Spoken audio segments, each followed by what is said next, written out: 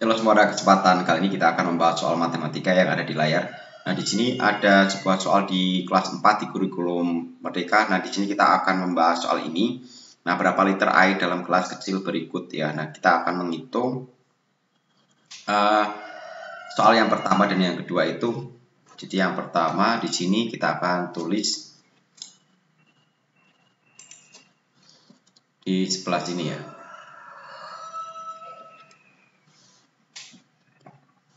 Situ untuk kelas pertama ya itu adalah satu liter ya. Kemudian untuk kelas yang kedua ya ini satu, dua, tiga, empat ya. Kelas kedua itu adalah 0,1 liter. Kemudian kelas ketiga ini sama ya dengan gelas kedua jadi 0,1 liter.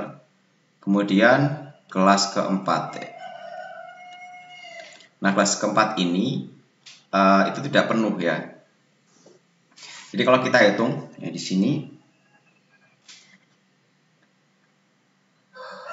garis terisi per banyak garis ya. Di situ garis yang terisi itu ada 1, 2, 3, 4, 5 ya. Ada 5. 5. Kemudian banyaknya garis sampai atas itu adalah 6, 7, 8, 9, 10 ya. 10. Nah, kemudian di sini banyak air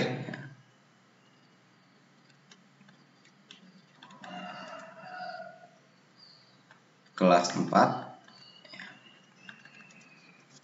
yaitu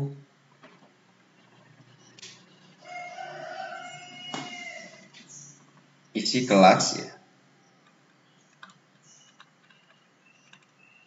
Dikali dengan ukuran ya.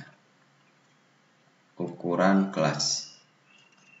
Nah di sini untuk isi kelasnya adalah 5 per 10 ya dari sini.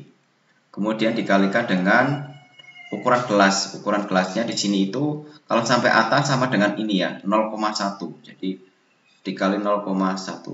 Nah, ini kalau kita ubah jadi 5 per 10 dikali dengan 0,1 itu kalau kita jadikan pecahan jadi 1 per 10 ya. Sehingga kalau kita kalikan di sini 5 kali 1 adalah 5 ya. Kemudian 10 kali 10 adalah 100 kemudian kalau kita ubah jadi 5 dibagi 100 adalah 0,05 ya. Jadi untuk kelas yang keempat itu ukurannya adalah 0,05 liter. Nah kemudian di sini ditanyakan ya berapa liter uh, keseluruhannya ya. Keseluruhan jadi kita tulis di sini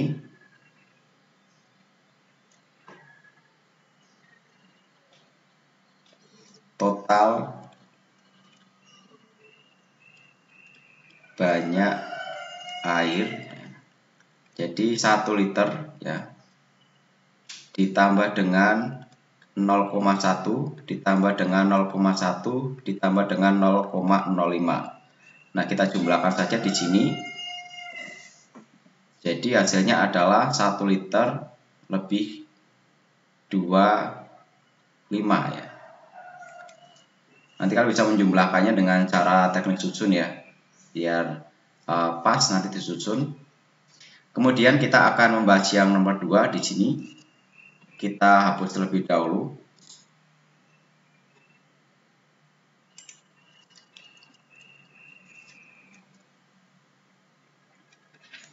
Untuk yang nomor 2 ini ada 1, 2, 3, 4, 5 ya, ada 5 kelas.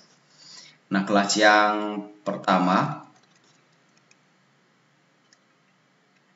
itu adalah 0,1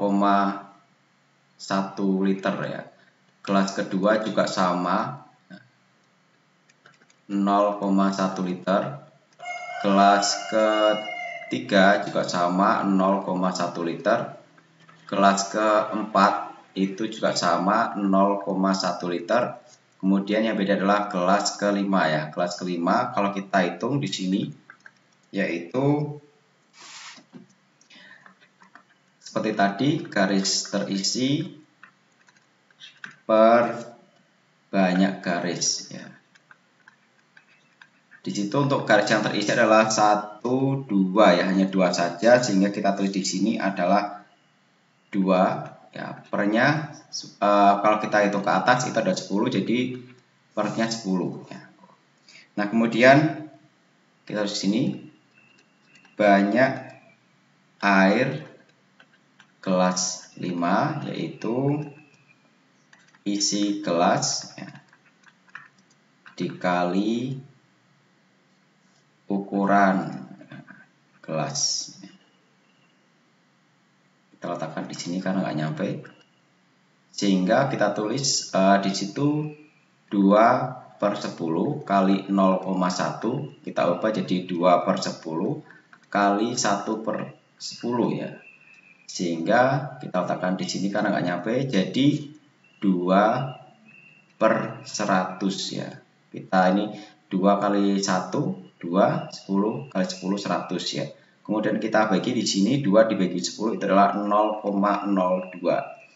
Sehingga di sini kalau kita tuliskan total air sama dengan 0,1 tambah 0,1 ditambah 0,1 ditambah 0,1 ya ditambah 0,02 ya ini yang kelas kelima 0,02 liter sehingga kalau kita jumlahkan di sini hasilnya adalah 0,42 liter. Ya.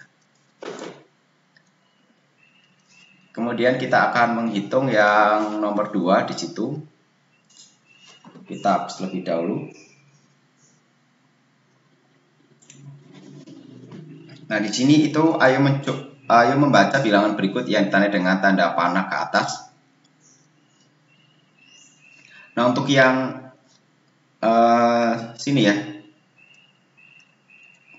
kalau untuk lebih mudahnya ini kan sebenarnya 0,9 ya, 0,9 kemudian di sampingnya ada garis. Biar mudah ini kita kasih 0 jadi 2,90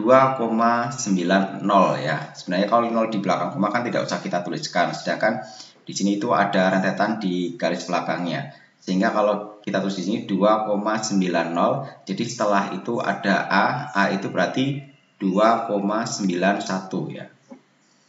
Nah, kemudian lanjut di sini untuk yang B, di sini satu ya, 2, 3, 4, 5, 6, 7, 8. Sehingga di sini itu 2,98. Baru di sini 2,99 baru 3 ya. Sebenarnya ini kan uh, di sini kita bisa ngasih misalnya 3 0 ya. Seperti itu. 0 ya. 0 tambah lagi ya. Karena di depannya sudah dua angka di belakang koma maka di sini juga dua angka di belakang koma ya. Nah sehingga setelah itu kita akan menghitung yang C. Di sini kalau di sini 3,00 jadi 3,01 3,02 2, 3, 0,3, 3,04 dan di sini adalah yang C 3,05 ya. Kemudian lanjut yang D 3,06, 3,07, 3,08 ya untuk yang D. 3,09 baru di sini 3,1 ya. Kalau kita tambahkan di sini ada nolnya biar mudah Nah, di sini kita akan menghitung yang E ya. Berarti yang sini adalah 1 ya 11, 12, 13, 14, 15, 16 ya. Berarti di sini adalah 3,16 atau 1,6 ya. 3,16. Nah, itu saja saya sampaikan. Semoga video ini bermanfaat. Jangan lupa untuk like, comment, share, dan klik tombol subscribe serta klik tombol loncengnya. Terima kasih.